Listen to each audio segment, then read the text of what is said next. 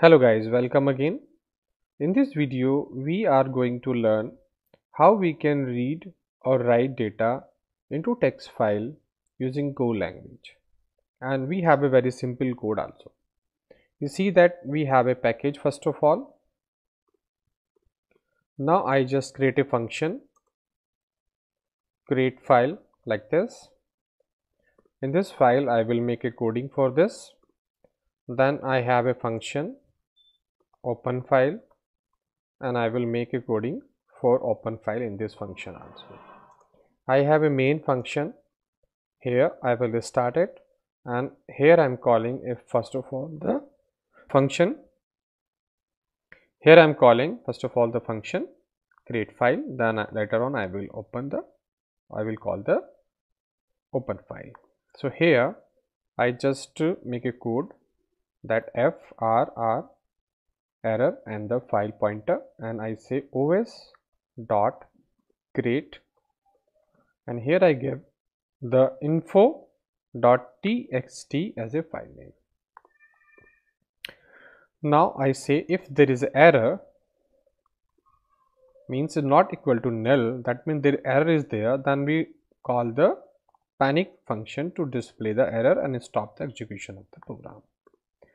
Now we have a file so, this file having the function read to data read function to read the information from the file. But first of all we have to write the data. So, what we have we uh, now we will use this uh, f pointer file pointer here to write information in this file. For that I have f dot write function and in this function we have to pass a byte array. So, I create the data as a byte array and I say it is byte type and inside this I just insert some information like this is my information for text file like this and I put the information in this file like this and I save it. I just uh, open the file so I have to close this file also so I am just using the defer for it. So this statement will execute at the last of the function and my file will close and I have write the data. So if I run this code so uh, you see the one file is created and we have a one line of code inside this. And this is the way to write a byte information, but I can write directly the string information like string write string. Here I can say slash n in a new line that this is another way to write information in text file. Like this I save it. Once again I run this code. And you see in file we have a one more line. So very simple way we have created the file. We have write the data into the file. We have a two way by byte array. We can write this the slice we create. We can pass it or directly we can write by using write string. Now we have to do one more thing we have to open a file and read the data. For that again I just use f and I say os dot open function. And here same file I just call info.txt and if there is error so I just handle this and put panic here. Panic means if there is error it will display and stop the execution. Now file is there. Now i have to read the information. For reading it again i need a byte array. So i created slices. Here and i say make. And here i just put that uh, byte. And i say i need 100 line of space here.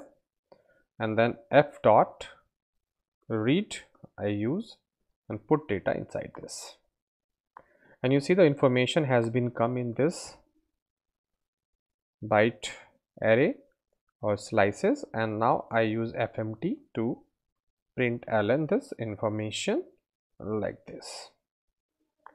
I save it and I just again uh, first of all I have to call this method also open file save it once again if I run you see that information is coming in binary format because I have to convert this into string.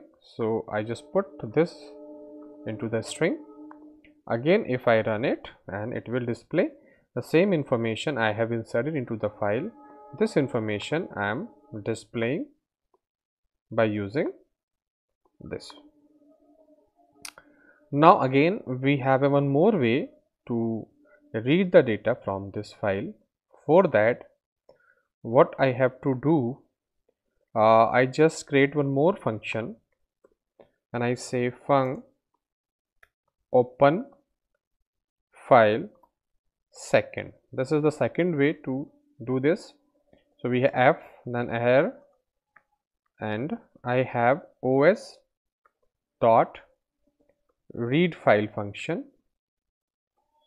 So I just read file and pass here info.txt and remember that again I just handle the error. Not equal to nil. And here I just use panic function to pass the error. Again here you see that uh, we have a f. So this f is the data itself. Remember this f is not a file pointer. It is the data which we have here. By using this function directly we having a data into this.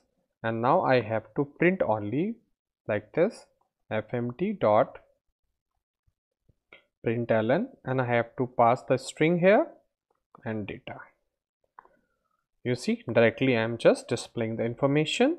And I call this function. And so I say open file 2 like this save it. And the same information will display two time. You see by the first way we have display. By the second way we have display. Both the methods are legal and valid.